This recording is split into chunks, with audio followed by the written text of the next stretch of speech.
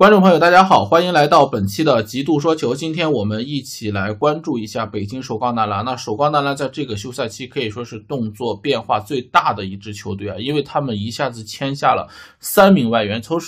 第一阶段的全华班转变为第二阶段使用了三名外援的球队。尽管说这三个外援林书豪、吉布森和布朗二世的话。啊，因为现行的外援政策，可能整个出场时间会受到非常大的限制，但是这的确是极大的补强了首钢男篮的后卫线这个薄弱的点啊。我们知道首钢，呃，可以说这些年来一直很难去打到总决赛，再次去冲击总冠军。最大的问题，我觉得就是出在后卫线上。那目前首钢队的两个主打的后卫就是方硕跟刘晓宇。然而上个赛季的 CBA，他们先赢后输，最终被广东男篮逆转淘汰出了八强。非常重要的原因就是两个后卫接连的犯错。当时的话，首钢队在上半场领先了。二十多分的领先，很多人都认为这场比赛要呃北京首钢大胜带走，呃出现逆袭了。但是在下半场，上半场手风特别顺的方硕突然哑火，上半场得十六分的情况下，下半场仅仅得了三分，可以说又恢复了半场超神、半场超鬼的境界。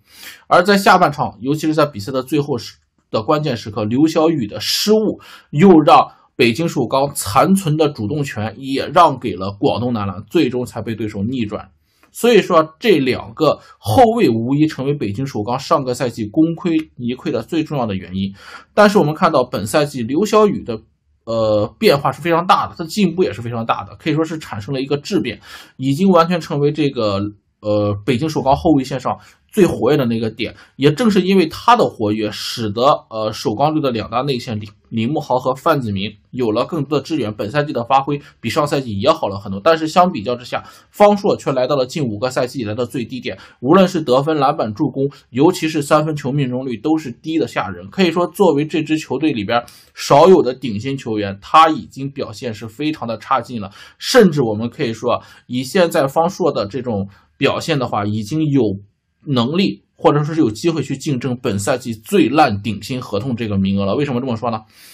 因为在咱们前面提到的这个阶段啊，首钢一下子引进了三名后卫：林书豪、吉布森和布朗二世，而且这三个后卫是各有特点。林书豪熟悉球队的技战术打法啊，擅长组织助攻。呃，吉布森得分能力非常强，这个是跟方硕是有点类似的，属于得分型的一号位。最后就是这个布朗二世，整体的话打法比较综合，擅长防守。所以说再加上刘晓宇的话，呃，整个北京首钢的后卫线已经是人马绝对够用了。因为我们知道北京首钢本身它不像广东队、不像浙江队那样是一个打法节奏非常快的球队，他们的打法节奏相反是整个联盟当中最慢的球队，因此他们的体能消耗相对偏少。因为节奏攻防转换打的少嘛，那也就对于后卫线这个人员轮换的厚度并不是那么厚，四个后卫是完全够用的。那么依照目前的情况来看，最有可能被淘汰出局的就是目前首钢队的呃顶薪球员方硕。其实本赛季有不少拿到顶薪的合同的球员表现是相当糟糕的，那最为。